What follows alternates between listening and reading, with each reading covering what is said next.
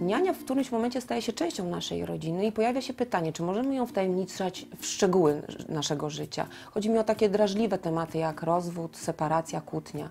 Nie ma możliwości, żeby o tym nie wiedziała, nawet jeżeli nam się wydaje, że nasza niania nie wie, że coś się dzieje, to wie, tak? I mówię to przez pryzmat pracowania w wielu rodzinach, no, z którymi przeszłam przez różne sytuacje.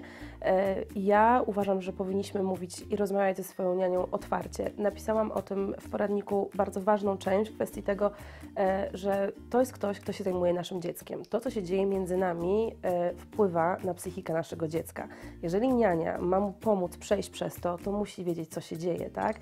W związku z czym, jeżeli my na przykład jesteśmy w trakcie rozwodu, albo nie wiem, po prostu jest między nami źle, czy to jest separacja, czy, czy cokolwiek, no, co bardzo wpływa po prostu i rzutuje na, na jego zachowanie, czyli naszego podopiecznego, e, to rodzice powinni wtajemniczyć nianię w tą sytuację, tak? Na tyle, na ile chcą. Ja nie mówię, żeby opowiadać ze szczegółami o swoim, prawda, intymnym pożyciu, tak? Ale jakby są pewne no, podstawy, które ona powinna wiedzieć. Inaczej nie przeprowadzi naszego dziecka przez to.